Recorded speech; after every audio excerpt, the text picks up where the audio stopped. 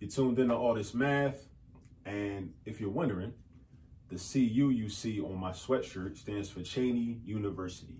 Cheyney University, a historical black, historically black college located in Pennsylvania, which used to, back in the day in 1837 when it was founded, it used to be located down South Philly, right? Um, some great people, some great historical figures, such as Octavius Catto and Fanny Jackson Coppin, worked at the Institute for Colored Youth, which is what it used to be called when it was located down South Philly. Um, later on in its existence, it relocated out to the you know suburban area, um, kind of rural type area out in Pennsylvania, where it is right now, um, where I currently teach as well. So you know I teach math at Cheyney University, so I'm proud to be able to say that I carry on that type of tradition, um, educating um, African American people in the United States. So moving right along, and I think this sweatshirt is kind of fly. I liked it, you know, when I when I saw, you know, they had these on campus, I was like, yo, I gotta grab one of these, right? But at any rate, moving right along, today's lesson involves scientific notation. Scientific notation. Now, scientific notation is something that we use when we're dealing with real big numbers and when we're dealing with really small numbers, right? That may um, utilize a lot of decimal places, right? We utilize scientific notation. Now we can also multiply and divide, add and subtract, you know, numbers that are in scientific notation. In this particular example, we're going to be multiplying two numbers that are already in scientific notation. So we have 4 times 10 to the ninth power, and we also have 3.5 times 10 to the eighth power, right? So if we understand the exponent rules, because scientific notation and the exponent rules go hand in hand. That's why a lot of times in a math class, an algebra one, algebra two class, maybe even, maybe even pre-algebra, when you learn about, probably not pre-algebra, probably at least algebra one, but when you learn about the exponent rules, you may also, within that textbook, in that same section of the textbook, you might do some problems on scientific notation because for real, for real, the rules are basically the same, or there's a lot of overlap, I should say. So we know this is multiplication because you see the parentheses, right? And you see no symbol in between, right? So that's how we know it's multiplication. So what we're going to do is we're going to multiply this 4 and this 3.5. So you kind of can think of those as like coefficients of a variable, right? The 4 and the 3.5. And then the 10s, right? The 10s tell you basically how many how many zeros would be um, or how many spaces the decimal point should be moved if it, if the number was written in regular expanded form. Because what scientific notation does for us is it allows us to save space, right? Saving space. Because if you ever encounter a number that's, you know, it has a, a 10 factor of like 10 to the 58th power, that means you might end up with, you might have like 58 zeros in that number. Like, would you really want to write out 58 zeros? No, you wouldn't want to do that. So you want to use scientific notation, you know, to make things more concise and to be more efficient. So first thing we're going to do, we're going to multiply this 4 by 3.5. Now, I could break out a calculator, but I like to do this type of math mentally. 4 times 3.5. I think a 3.5 is two different parts. I think a 3.5 is a 3 and a 0.5. A 3 and a 0.5. And I'm going to multiply 4 by each of those parts, each of those two parts. So I know 4 times 3 is 12, right? Because I know my multiplication facts. And you should too, right? So 4 times 3 is 12. And I also know that 4 times 0.5, which is the same thing as a half, 4 times 0.5 is 2. So I take my 12 and I take my 2 and I add them together and I get 14. And basically what I just used was something called the distributive property. You probably heard of the distributive property, but you might not have ever thought of using it in that way. So when you do mental math in that way, you're really using the distributive property. So that's why the distributive property is not something to run from. It's a very important and valuable tool that we use even in mental math in every day of our life, you know, whenever we're doing basic and regular calculations. So this 4 times 3.5 is going to become 14. Because like we said, 12 plus 2 is 14. Now, these 10s, they get multiplied together, right? They're the same base, they're both 10s. And we use something called the multiplication rule of exponents. Remember I told you, using scientific notation, exponent rules, they go hand in hand. So 10 to the ninth power times 10 to the eighth power. We write the 10 one time, but we do not multiply the exponents. Do not multiply the exponents. Don't do that. We want to add the exponents. When we utilize the multiplication rule for exponents, you add the exponents. So we're going to do 9 plus 8, not 9 times 8, 9 plus 8, which is 17. All right, so now we have 14 times 10 to the 17th power. But we have an issue. This is not in scientific notation because scientific notation states that our initial number must be between 1 and 10. It must be at least 1. It must be um, at least at lowest 1.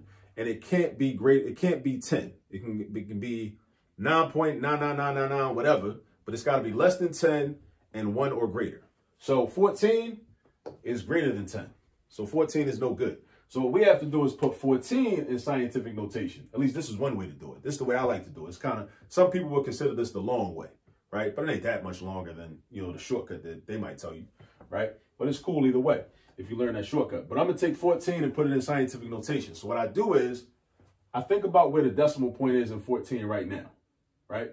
There's an invisible decimal point after this 4.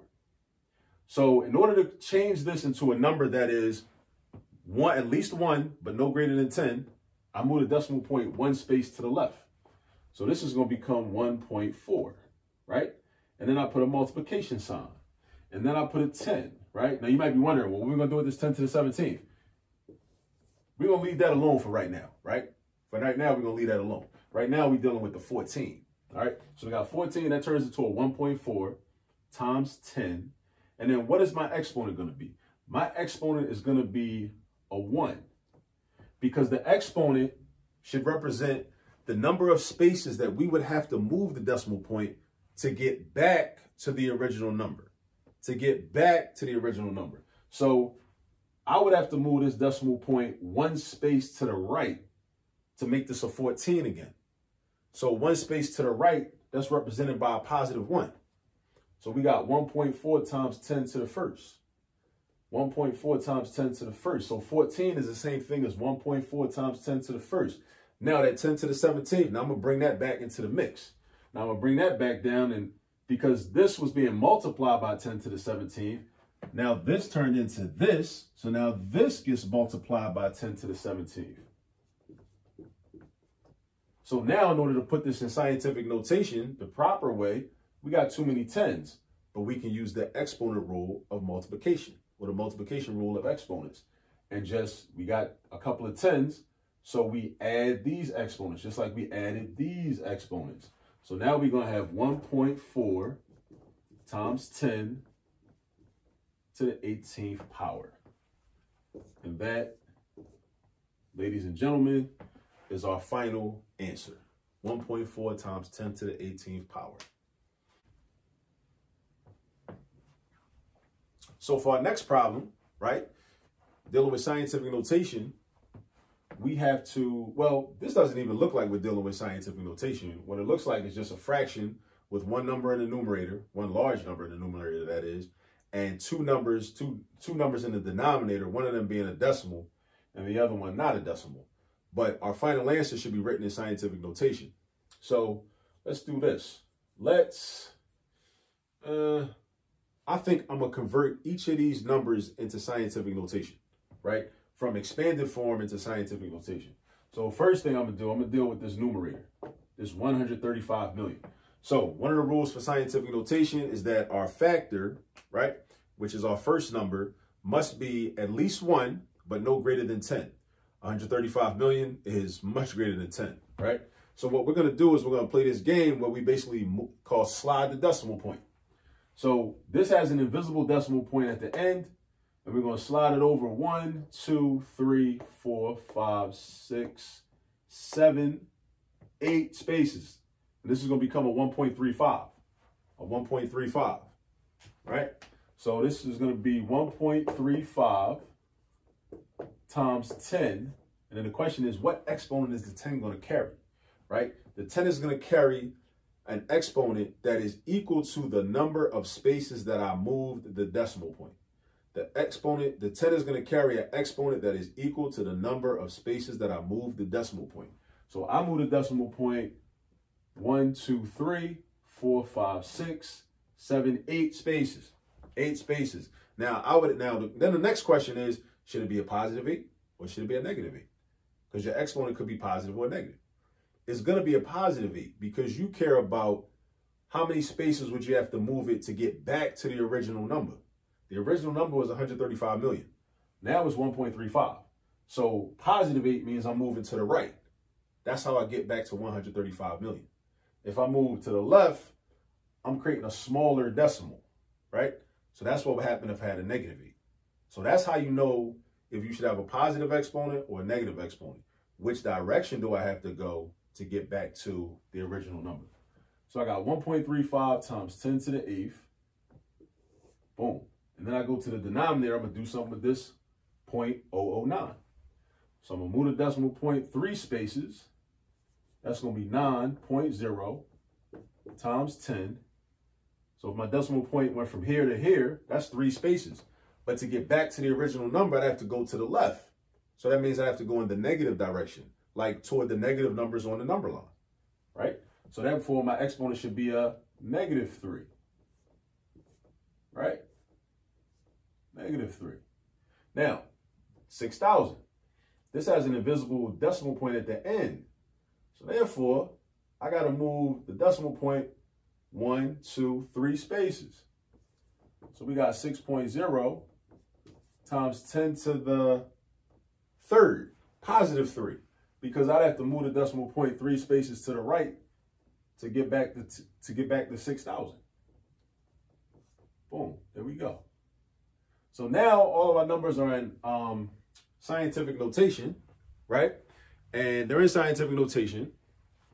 And what we want to do is we want to use exponent rules now to either multiply or divide the numbers that we're dealing with. So basically, I'm going to do, let's see, 1.35. Let's do this. Let's go down vertically. So I got 1.35 times 10 to the eighth. I'm going to multiply these two together. That's what I'm doing, multiply these two together.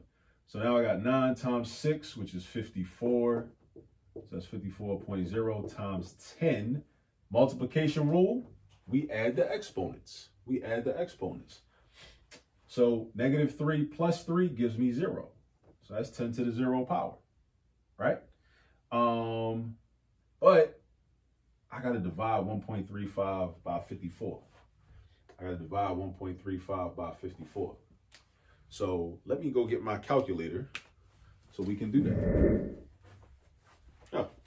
So I got my calculator to go grab my calculator. I got this calculator from KDW Cares, one of their fundraisers. You know, shout out to KDW Cares and the work they're doing in the community. You know, Sada loves this calculator, by the way, right? So I'm gonna grab this, John, right? We're gonna do 1.35 divided by 54.